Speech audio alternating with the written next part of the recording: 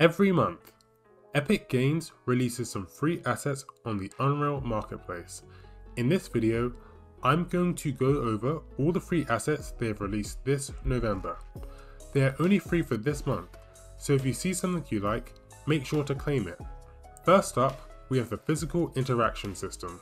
This pack contains a fully intuitive interaction system for everything, from grabbing and throwing objects to subtle movements and rotations. The creator of this pack says the controls for this asset are not conventional, but they open up almost limitless possibilities. Imagine you have sticky fingers when you're interacting with the object. You can do whatever you want with them. You can push, pull, lift, and lower objects. There are several examples of assets you can interact with in this pack, but you can also come up with your own example assets. Secondly, we have the clothing and shoe stores.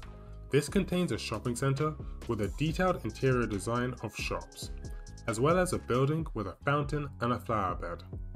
The pack contains a character who can interact with all the doors in the building, and this asset is built from separate modular elements, which means you can add and create your own interior stores. Next, we have the Loft Office. This asset contains a high quality modern office with three complete interior scenes, a workspace and conference room, a kitchen, and an office cabinet. Penultimately, we have the animated rain, water drop, material, and FX. It says this pack contains four types of usage a translucent material, a material overlay function, a material overlay volume, and a camera post process effect. It also comes with a cafeteria scene and a dynamic rain volume. Finally, we have the universal camera. The Universal Camera is a flexible camera system that can be used in a wide variety of games. It allows you to make a flexible camera, move around, rotate, edge scroll, screen slide, mouse drag, follow an actor, and more. There are a whole bunch of settings.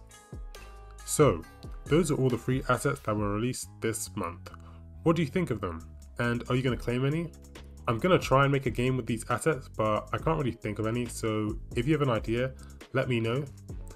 That's all for this video. I hope you enjoyed it. If you did, like and subscribe, and I'll see you guys next time. Bye.